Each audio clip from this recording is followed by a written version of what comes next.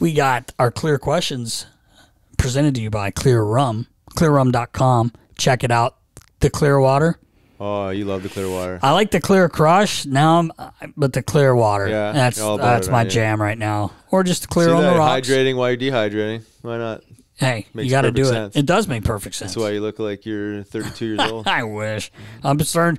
My daughter's gonna get me aging here more Yeah, and more well, than. I really am. Yeah. But uh, That's a different story. yeah, Maybe it's a drinking different more story. clear water. Who knows? yeah, I might be drinking more of that now. Yeah. But, All right. uh, yeah, well, Klyr questions, baller. What do you got? We have an email from Angelo Rosina.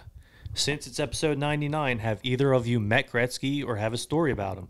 And another question Who would you say is the Wayne Gretzky of Philly?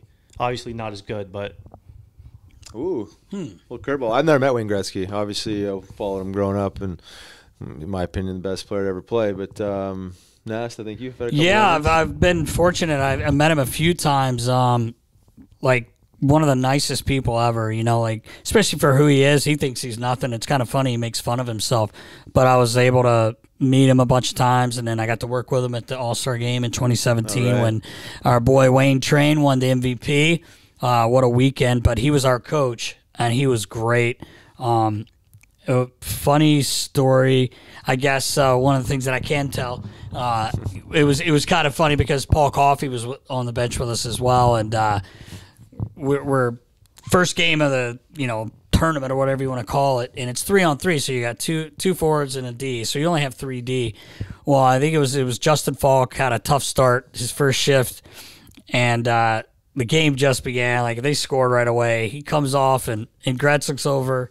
He looks over to Koff and goes, "Hey, he's done." Like like he can't play like he's benching him right, Right. and you only have three D like so you can't do that. And I just remember laughing. He reminded me of something Chief would Oh, do or say. Sarcastic. Um, and it was pretty funny too. I was standing in between Koff and uh, Paul Coffey and, and Wayne Gretzky, and and uh, Chris Chelios kept FaceTiming him, and he was on the beach Oh. in L.A. and uh, he's talking, and it's kind of loud in there. I'm like, how can you? He's they're holding the phone right here, and they're both like trying to talk as we're co- as, they're, as they're coaching. Like during this is during Wow. the game, and Couldn't and wait. Gretz is like trying to like pay attention, you know, like, and it's kind of funny. And uh, Gretz like looks over and he goes, "Flip over," because he was all red. Chelly was like all red on his front side. He's like, "Flip over." I'm like, Jesus Christ! It was That's pretty hilarious. funny, but really, really nice man. Like uh, Rick Tocchet, one of our good buddies, is best buddies with him, and Yeah. just always great always things hear to some say. classy and- things about yeah, he's just he's a class act for sure, man. What do you got Great there, guy. Nast? Oh, uh, I to well, use that thing. I speaking, th- speaking I of this. I got this.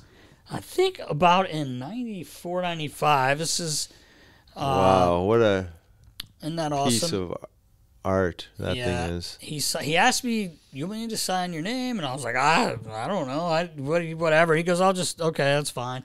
But uh, it's really cool. These his sticks used to come with these on them already. Oh, really, They- huh? yeah, this is like way. Now these are you know the, the not know not that. yeah. Uh, all his sticks came that way, and he had baby powder on them. Uh, but yeah, I got this. Uh, Rick Tocchet was playing with the Kings, and it, we were standing in the change room uh, at the Spectrum, the old Spectrum, and uh, he was like, "Yeah, have one of Gretz's sticks." I was like, "No, no," you know, it's my third year, I think, in the league, and I, I was like, "No, I, I don't," but like, I'm like, I don't want to ask him. He goes, "Oh, fuck that." He's like, "Gretz." Could D get one of your? He's like, yeah, sure, man. He goes Oh, over, wow. grabs it off the rack, and it's like, so you know, and signed it. He was, just, he was like, there you go, and I was like, oh my god, like, like this is my favorite, obviously my probably my favorite stick that Oh, I have. course, I mean, it's, it's unbelievable. I have them. What a I have quite a collection. I've been fortunate to get a lot. I've got you know Mario Lemieux and Mm-hmm. some guys like that, but this is like, and it's that shiny. silver. Oh yeah, I There's some weight to it though. Yeah, I, There's I weight used one of those bad boys back in the Yeah, day. so Didn't have quite the same finesse, but uh, Well, I mean, you were right there. You same, same, damn curve, blade. yeah, same, same blade, same curve. Same blade. I was trying to mimic what Gretter was doing. Yeah, exactly. Didn't didn't, uh, didn't transpire. No, Yeah, but it's all right. It happens. But that's that's my uh, that's one of my stories It's a great about Wayne. Gretter He's a great guy. Love it.